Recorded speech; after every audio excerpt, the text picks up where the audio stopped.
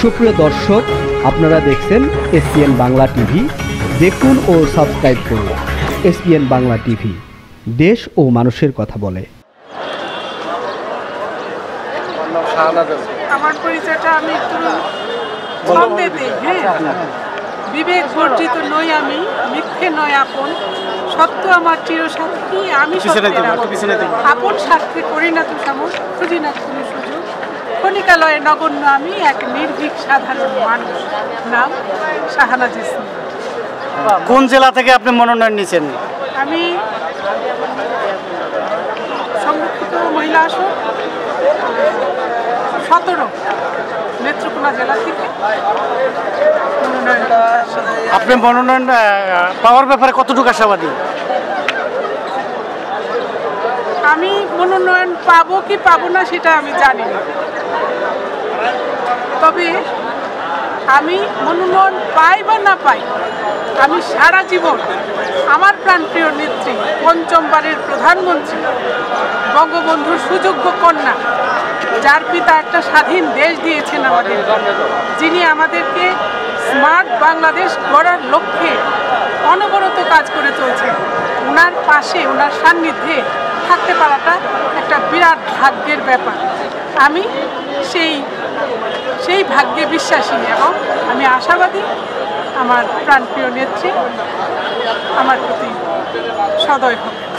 আপনি এমপি নির্বাচিত হলে কোন কাজটাকে গুরুত্ব দিবেন আগে? প্রথমত আমি গুরুত্ব দিব বাংলাদেশে জামাত, বিএনপি, ওরা যে সবসময় আমাদের পিছনে লেগে থাকে এবং যারা অনলাইনে আপনার অস্থিতিশীল কাণ্ড ঘটানোর জন্য এই যে দেখেন ট্রেন পুরাই দিল অনলাইনে তারেক দিয়া হ্যাঁ? তারপরে আপনার এই নির্বাচনের সময় নির্বাচনটাকে বানচাল করার জন্য কি করল? লিফলেট বিলি করল, যেন নির্বাচনে মানুষজন ভোট দিতে না যায়।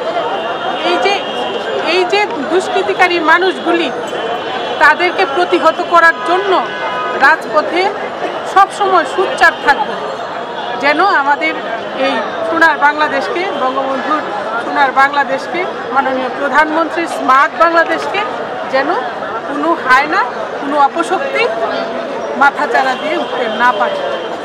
আর দ্বিতীয় কাজটা যেটা করব, ওই যে আমাদের সংসদ ভবনে সংসদ ভবনে কিছু লাশ আছে, বুঝছেন?